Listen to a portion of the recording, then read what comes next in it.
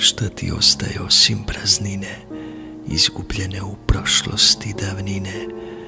obično što tragove nose nekog bola, poraza, možda tuge ili izgubljenog obraza. Čega god se sjetiš, u većini slučajeva budalom se osjetiš. Izgubljenom ljubavi, sjećanjem što se vrati, šamarom prošlosti, kao sveta prokleta, dan ti samo pokvari.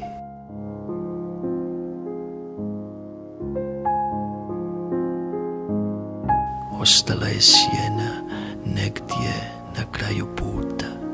kojima su stope zaljubljenih hodale, prsti isprepletani, tragom nevidljivog ista, vazduhom da treperi,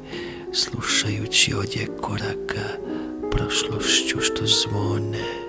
i sad dok se pitam kome, pogledaš naprijed samo da shvatiš sve u prošlost, želiš da vratiš, jer sve i ovo novo, pa evo i ovo slovo, čim napišeš, želiš da zaboraviš,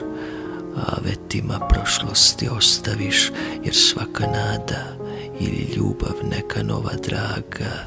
rane će da ostavi, koje nikad nećeš moći da zaboraviš.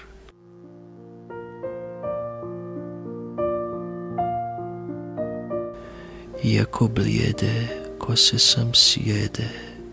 riječi iznenada kad se jave, zagrebu tamo gdje najviše boli, koga srce ovo još može da voli,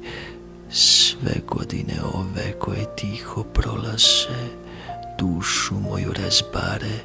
kakvim obalama lutam, gledajući sad ceste,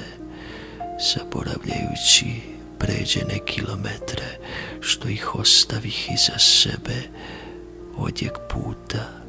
lutajućih muka, prošlosti, zato bježi, usta svoja napokon zaveži.